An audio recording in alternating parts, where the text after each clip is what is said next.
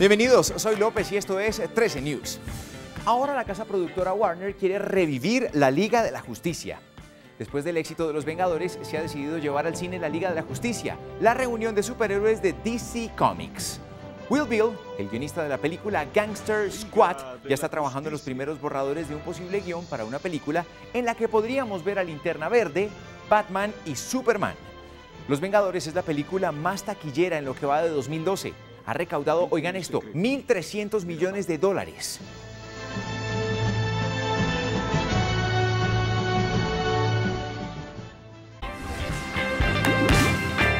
Los avances de la ciencia también están en 13 News. Un grupo de científicos en Suiza asegura haber restaurado la movilidad de ratones paralíticos por lesiones en su médula espinal al estimularlos con químicos y electricidad.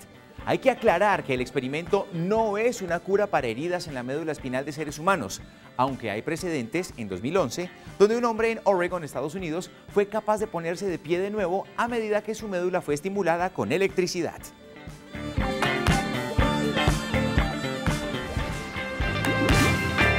A través de su página oficial de Facebook, el DJ David Guetta publicó que está buscando su ultra fan en Latinoamérica.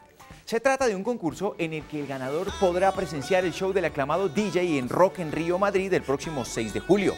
Sus seguidores deberán ingresar al sitio en internet y seguir las instrucciones que incluyen pedirle a sus amigos una votación masiva.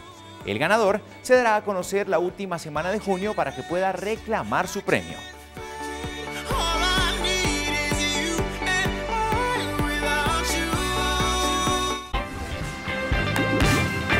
Tenemos más 13 News para ustedes en Twitter, también estamos en Facebook y en nuestra página canal13.co. En cualquier momento más 13 News.